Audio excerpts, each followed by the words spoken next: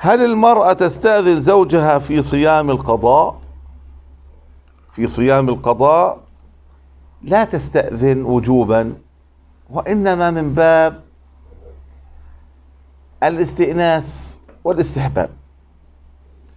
فهي تريد أن تقضي رمضان فتخبر زوجها حتى يكون على استعداد بأن لا يكون هناك ترتيب في ذهنه. وبالتالي يعني يتفاجأ بعكس ذلك. ومع ذلك بعض أهل العلم عمم. حتى في القضاء يجب عليها أن تستأذن. وهذا هو الراجح.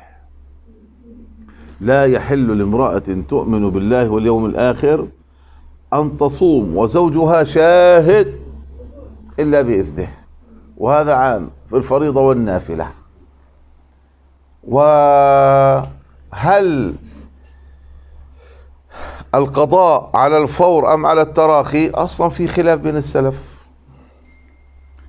وهذا المسألة التي ستثار في درسنا القادم إن شاء الله.